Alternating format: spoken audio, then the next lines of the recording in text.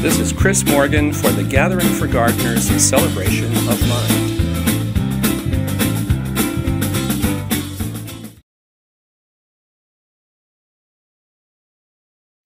Hi, I'm Chris Morgan, and today we're going to look at a wonderful mathematical card trick called the Pack of Little Fibs. It was created by Colm Mulcahy, and it uses six cards from a deck of cards that happen to be in a Fibonacci series. We have an ace, two, three, five, eight, and king. Each card is the sum of the two below it in the series. So 5 is the sum of 3 and 2, 8 is the sum of 5 and 3, and so on.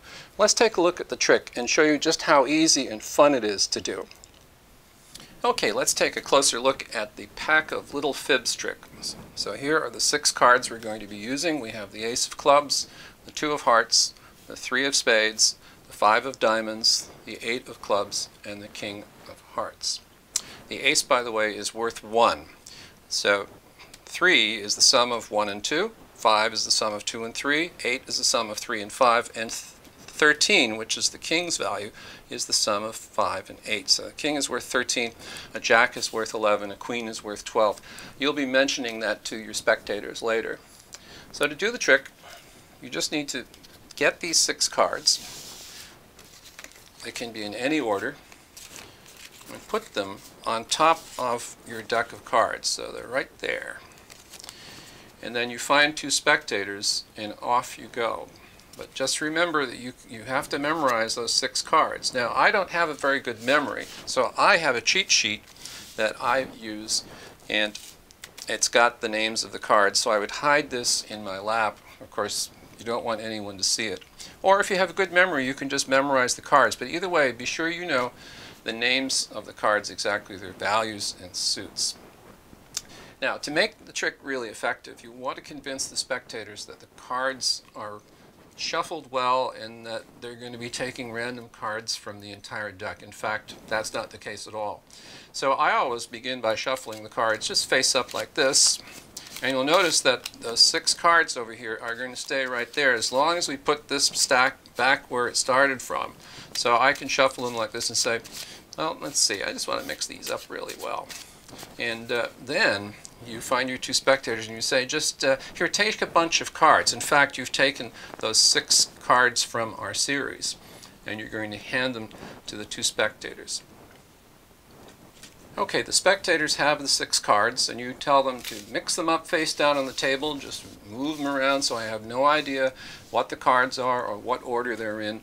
I'll even turn my back while you do this. Now please take one card apiece from the table look at the cards and remember their values. So they're each going to take a card. Let's say they take those two cards. We'll move the rest aside.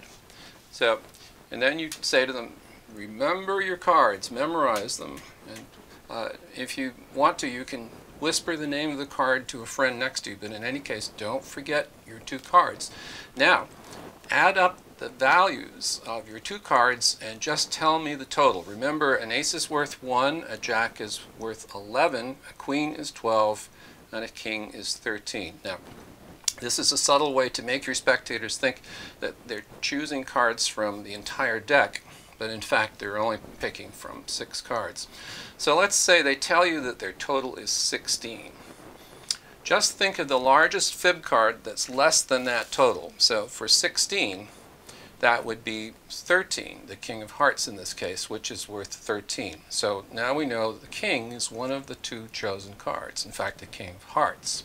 To get the other card, just subtract the king's value from the total they gave you. They said 16 for a total. 13 minus 16 is 3. So now you know the second card is the three of spades. That's all there is to it. Now it's very important that even though you know the values, you're not going to reveal them just yet. You want to convince them that there's many more possible combinations of cards that could have added up to 16. So depending on the total, well let's say for 16, I might say something like, hmm, 16, that could be the sum of a 10 and a 6, or a jack and a 5, or a 9 and a 7. And there's so many possibilities. But I think your cards are the king of hearts and the three of spades. And you'll get a tremendous reaction to this because people just aren't expecting you to be that specific that quickly. And it's partly because you're naming the suit as, as, well as the value of the card. Now, by the way, it's worth noting sometimes the spectator's total that they give you will be exactly equal to one of the fib numbers. Uh, for example, your spectators might say their total is 8. No problem. Just remember to always pick the largest fib that's less than the given total. In this case, that would be 5. So now we know one of the cards is the 5 of diamonds. And to find the chosen card, you again subtract 5 from the total. So that's 5 from 8 gives you 3.